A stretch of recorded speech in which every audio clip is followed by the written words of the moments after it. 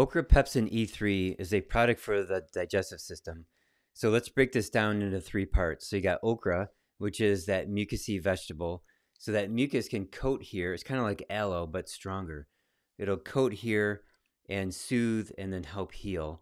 The pepsin is an enzyme that digests unwanted proteins, especially inflammatory proteins. So the pepsin is within the okra and it's cleaning. So, so now you have a soothing, cleaning mucus that's um, in your stomach and going lower into your intestines. The third part is called E3. So back before 1940, they knew that vitamin E was this big complex of a vitamin, and they broke it up into smaller parts that include E1, E2, E3, F1, F2, and then um, other like minerals inside and bioflavonoids inside.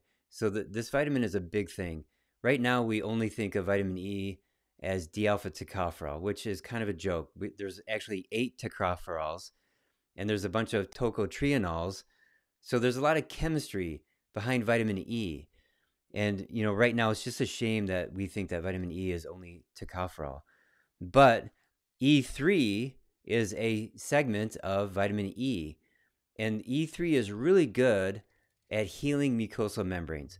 So your digestive tract, what is it? It's a mucosal membrane, and that's what the the E3 part of okra pepsin E3 is for to heal that. So we're going to soothe it with okra, we're going to clean it up with pepsin, and we're going to heal it with the E3. This is a fantastic product. It's best taken on an empty stomach, um, usually 20 minutes before you eat. So you're going to soothe and coat 20 minutes before you eat, and then your body has an easier time with the food because you've taken this 20 minutes before.